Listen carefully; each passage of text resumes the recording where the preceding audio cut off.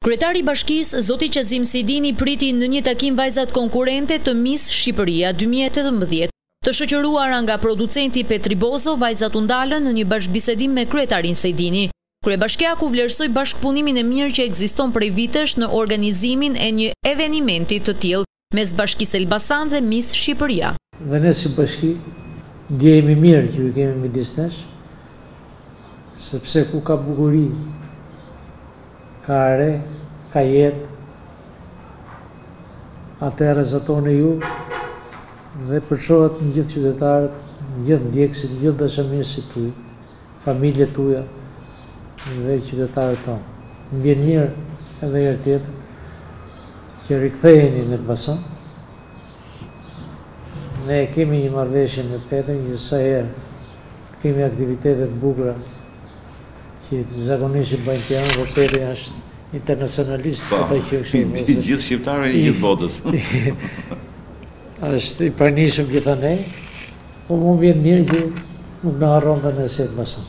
Më tej zoti Sejdini vuri në dukje disa nga ndryshimet që Bashkia Elbasan ka bërë gjatë viteve duke përmirësuar cilësinë e jetesës së qytetarëve të saj. Është një ndër tre qytetet më të mëdha të Shqipërisë me dyqind e dyzet mijë banorë, bashkia e re dhe qyteti ka njëqind e njëzet e tetë mijë banorë, është qytet i studentëve, Kemi trembëdhjetë mijë studentë. Është qytet i industrisë, fabrikës çimentos, prodhimit të çeliqeve, kombinatit metalurgjik, i ferrokromit, dy uzina. Është qytet i turizmit, turizmit historik dhe arkeologjik. Është i vetmi qytet në Ballkan që ka kala në mes të qytetit. Është një kala me katër hektarë. e ndërtuar në një mijë e katërqind e dyzet e gjashtën,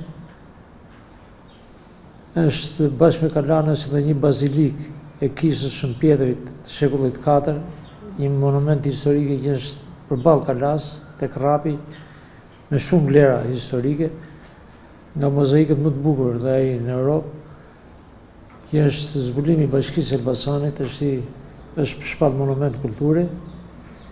Njëkohësisht Elbasani është dhe qytet i pikave turistike, ka ujna termale të Llixhës, ka pikën turistike të Gjinarit, të Funarit, të Qerretit, të cilat ne pretendojmë t'i bëjmë sa më shumë atraktive, duke pas projekte dhe programe shumë bukur për këto.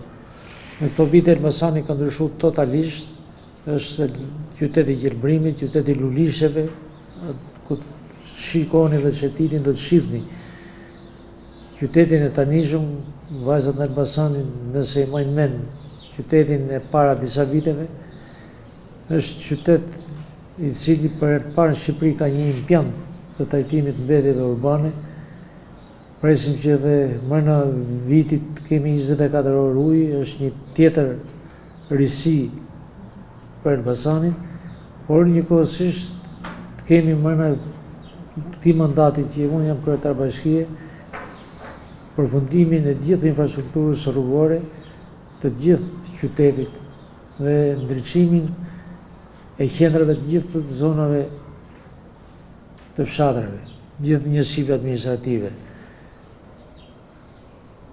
Gocat e Elbasanit duhet ta përshkrujnë më bukur shoqeve, por dijeni që sot jeni në një qytet historik, në një qytet shumë të bukur, dhe do të thoja që nga koha që janë zbulu bazilika dhe kalaja ka dalë n'shesh, Elbasani momentalisht ka mbi 10 fishin e turistëve që ka pas para dy vjetësh.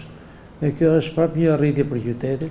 Producenti i Miss Shqipëria falënderoi kryetarin e bashkisë për mbështetjen që i ka dhënë ndër vite organizimit të këtij evenimenti të bukurisë shqiptare. Elbasani ka mirëpritë të bukurën në çdo kompeticion që ne kemi bërë që nga viti nëntëdhjetë e tetë kur e kemi filluar. Ka një fakt tjetër interesant që një vajzë elbasanase ka fituar kurorën e artë Miss Shqipërisë në vitin dy mijë e katër, Enkeleda Bargjo dhe ju do keni mundësi ta njihni në paranatën e finales të datës dhjetë qershor, ku të gjithë mbretëreshat do vijnë për të marrë kurorat që në fakt i mungojnë në shpitë e tyre, sepse kurora e Miss Shqipërisë ka qenë unikale dhe këtë vit, me rastin e jubileut njëzet vjetorit po prodhohen nëntëmbëdhjetë të tilla kopje të saj.